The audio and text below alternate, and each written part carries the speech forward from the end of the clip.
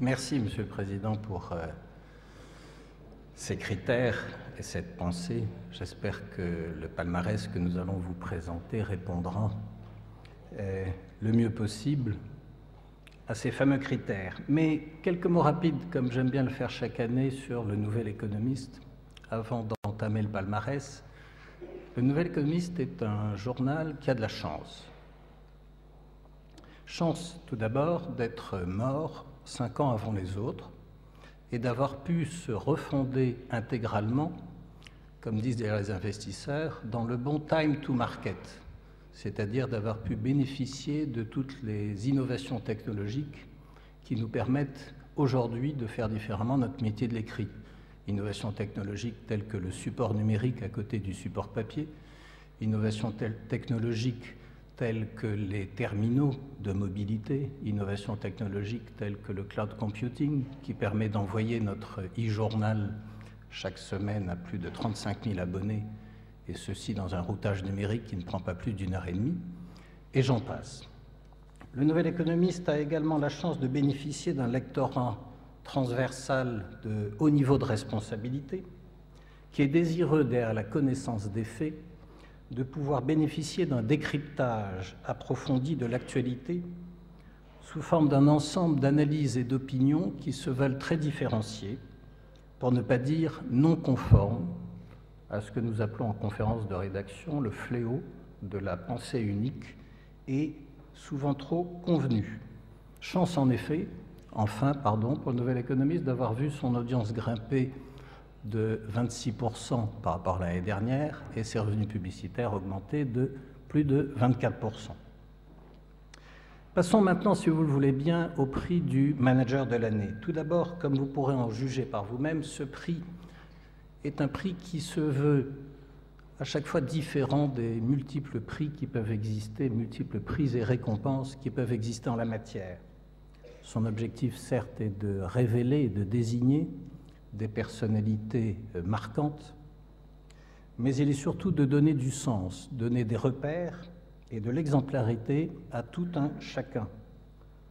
Raison pour laquelle nos choix que vous allez découvrir dans quelques instants, tout au long de cette cérémonie, sont tout sauf anodins et ne sont pas le fruit d'une quelconque notoriété ou d'un quelconque compromis.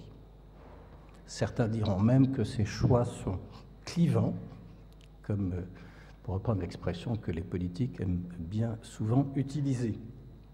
Les fils rouges qui nous ont permis de faire notre choix ne manquaient pas cette année. Ça pouvait être celui de la gestion de crise, ça pouvait être celui de la croissance, ça pouvait être celui de l'innovation, mais il nous a paru comme une évidence que cela devait être celui du retour à l'essentiel.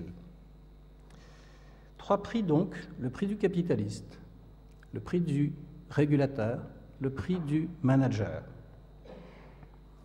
Capitaliste. Le retour à l'essentiel en matière de capitalisme pour le nouvel économiste, pour qu'il puisse être qualifié de capitalisme durable, ce que les anglo-saxons appellent le sustainable capitalism, le retour à l'essentiel en matière de capitalisme pour le nouvel économiste, ce sont cinq éléments. Le retour à l'économie réelle et à la création de richesses tangibles. L'esprit et la culture véritablement entrepreneuriale, une notion, vous savez, si peu française, qui nous manque tant, que ce soit par peur du risque ou par peur de la sanction de l'échec. Troisièmement, la primauté du moyen et du long terme sur le court terme et la priorité à l'investissement et au développement sur la distribution de dividendes. Le respect de l'entreprise, première source de création de richesses, et de toutes ses parties prenantes, à commencer par ses salariés. Et enfin, la prise en compte de l'intérêt collectif et général, au-delà de celui bien compréhensible de ses actionnaires. Mais c'est donc aussi la prise en compte de l'avenir de la planète tout entière, la capacité de compréhension d'un monde en mouvement. Ne parlons plus d'ailleurs, je vous en supplie, de pays émergents, puisqu'ils ont émergé, si nous ne voulons pas qu'à leur tour, ils nous traitent de pays immergés. La prise en compte de ces formidables enjeux économiques et sociaux et de cette notion trop galvaudée mais bien réelle qu'est le développement durable. C'est aussi pour le nouvel économiste le capitalisme durable, le refus de la dictature des rendements excessifs et immédiats sur les capitaux investis au profit de rendements réalistes et raisonnés dans la durée. Et c'est enfin le capitalisme tel que nous le définissons, le devoir de mémoire, le sens de la continuité et de la transmission à tout niveau. Nous avons cette année désigné trois nominés qui chacun illustre parfaitement notre vision de ce capitalisme durable. Madame Margarita Louis-Dreyfus, présidente du groupe éponyme, Monsieur Xavier Niel, pardon, fondateur de Free, qui n'est plus nécessaire de présenter, mais qui est nominé ce soir au titre du fonds d'investissement qu'il a créé pour aider au financement d'entrepreneurs innovants. Et enfin, Mohamed Younous, également qui n'est plus nécessaire de présenter, désigné cette fois non pas au nom du microcrédit, mais au nom de la théorisation et de la mise en œuvre de ce qui s'appelle désormais le social business. Pour ceux d'entre vous qui ne savent pas ce qu'est le social business, qui est une notion encore assez récente, le social business consiste à créer et développer une entreprise comme n'importe quelle autre entreprise, avec ses actionnaires, avec ses salariés, avec ses clients, avec son business plan, mais dont les dividendes non distribués se traduisent en fait en finalité sociale. C'est le capitalisme familial et entrepreneurial que le nouvel économiste a choisi de primer ce soir, en lieu et place du capitalisme financier, et également et malheureusement en lieu et place du capitalisme souverain ou étatique. Je vous demande donc d'applaudir Madame Margarita Dreyfus.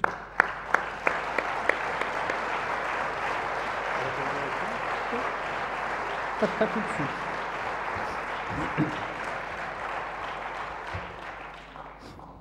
Margarita Dreyfus nous a semblé à plus d'un titre et au-delà de toute apparence et les apparences sont souvent trompeuses dans notre microcosme parisien, incarner et défendre bec et ongles un ensemble de valeurs clés en matière de capitalisme et plus particulièrement de capitalisme familial. Margarita Dreyfus incarne sa volonté d'appréhension et de compréhension par ses multiples déplacements à l'étranger d'un monde global et plus particulièrement de l'un de ces trois enjeux planétaires, à côté de l'éducation et de la santé, qui est celui de l'alimentation de 7 milliards d'habitants.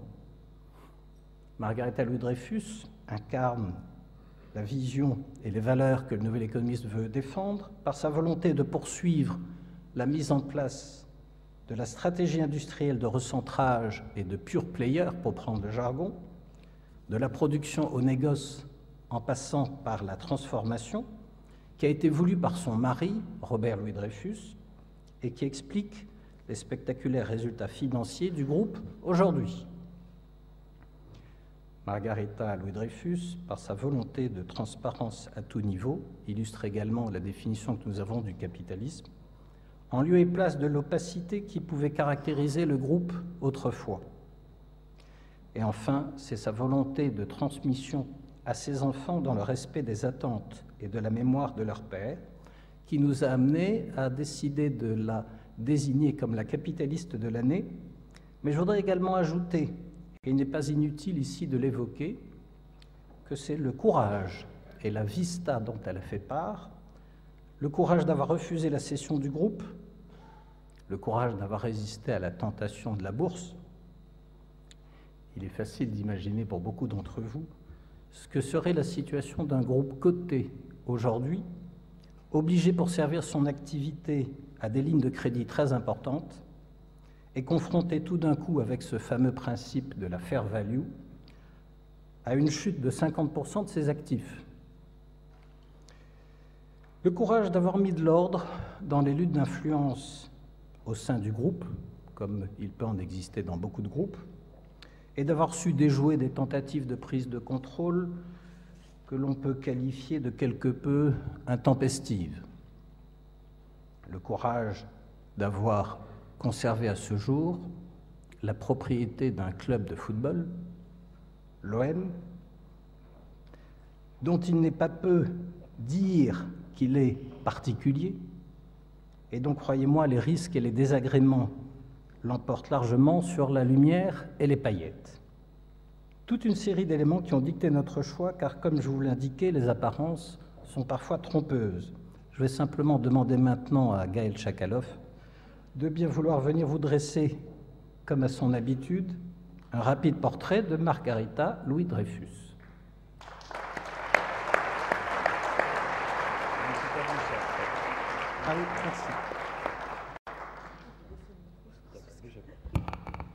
De hauteur entre le président Delevoye et moi-même. C'est toujours aussi impressionnant de parler devant autant de monde. Mesdames et messieurs, bonsoir. Décider de remettre le prix du capitaliste de l'année à Margarita Louis Dreyfus, c'est faire le choix de la différence. Inattendue, imprévisible, improbable, indomptable, insoumise. On a tout entendu à propos de celle qui est désormais, surnommée la tsarine, ce qui n'a rien pour lui déplaire vraisemblablement, parce qu'elle vient d'ailleurs, parce qu'elle pense autrement, parce qu'elle manage sans craindre les conventions. Elle a été précipitée par la vie dans un rôle qu'elle n'attendait pas, et elle incarne aujourd'hui un grand groupe familial européen. Oui, bizarrement, cette femme dont le physique pourrait figurer dans un catalogue de l'agence élite représente un leader mondial des matières premières agricoles. Quelques chiffres très vite sur le groupe. Le groupe Le Dreyfus, c'est 55 milliards d'euros de chiffre d'affaires, 40 000 salariés et 300 000 fermiers partenaires. Quant à vous, Margarita Louis Dreyfus, vous êtes perçue tour à tour comme une tueuse ou comme une madone, selon les médias et les jours. J'imagine, madame, qu'il faut avoir un sacré tempérament et une certaine dose de conviction pour avoir su vous imposer comme l'ambassadrice de ce groupe. Parce qu'on ne peut pas dire que votre histoire personnelle vous préparait à un tel destin, loin s'en faut. Alors, vous êtes née à Saint-Pétersbourg, orpheline à l'âge de 7 ans, vous avez été élevée par votre grand-père, et vous avez quitté la Russie à votre majorité pour vous installer en Suisse, où vous avez travaillé dans une société d'import-export. Quelques mois plus tard, la vie, toujours, vous a réservé une surprise. Vous avez rencontré dans un avion celui qui allait devenir votre mari, et le père de vos trois enfants, Robert Louis Dreyfus. Sur le papier, l'histoire oscille entre Cendrillon et La Belle au Bois dormant. Pourtant, ce qui nous réunit ce soir n'a rien d'un conte de fées. Non, c'est l'histoire d'une conquête, c'est l'histoire d'un combat exceptionnel, et c'est aussi l'histoire d'une fidélité à l'esprit de votre mari, trop tôt disparu. Le récent chapitre de votre parcours professionnel doit d'ailleurs plus à la littérature russe ou provençale qu'à celle de Charles Perrault. Oui, côté pile, vous êtes une dame de pique dont chacun tente de deviner le jeu. Et côté face, vous êtes l'héroïne d'un château de ma mère revisité. Bref, vous faites autant souffler le vent de la rigueur que celui de l'affectivité sur un groupe que vous gérez résolument d'une main de fer. Lorsque vous avez rencontré Robert Louis Dreyfus en 1989, vous étiez déjà une jeune femme dont l'allure et la détermination semblaient porter en étendard la conquête du monde. Contre toute attente, Robert Louis Dreyfus avait choisi de faire ses preuves en dehors du groupe familial. Plus rodé au poker que mathématique, il avait échoué deux fois au baccalauréat, finançant par le jeu ses premiers choix professionnels. D'abord engagé dans l'armée israélienne au moment de la guerre des six jours, il est ensuite entré à la Harvard Business School, puis il a grimpé les échelons d'IMS dont il a pris le contrôle. Il a restructuré avec succès la dette de Sachi et Sachi avant de racheter Adidas qu'il redressa également. Parallèlement, il devint l'un des premiers fournisseurs d'accès à Internet avec Neuf Télécom. C'est donc fortune faite, en 2005, qu'il a repris les rênes du groupe familial. Ajoutant aux négoces et aux activités alimentaires la distribution d'énergie renouvelable, il a triplé la taille de la filiale matières, euh, matières premières agricoles. Lorsqu'il disparaît en 2009, votre mari est à la tête de la septième fortune française. Et contrairement à ce que l'on pourrait croire, parler de Robert Louis Dreyfus ce n'est pas s'éloigner de votre portrait, bien au contraire. Parce que derrière chaque homme qui réussit, il y a bien souvent une femme exceptionnelle.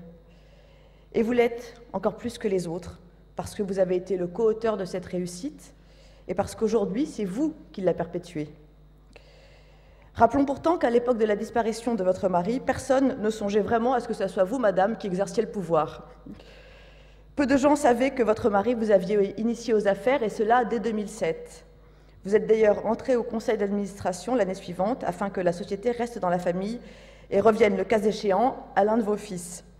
Certains ne donnaient pas cher de votre avenir, trop belle pour être intelligente, trop étrangère au monde des affaires pour le comprendre et l'amadouer, disait-il.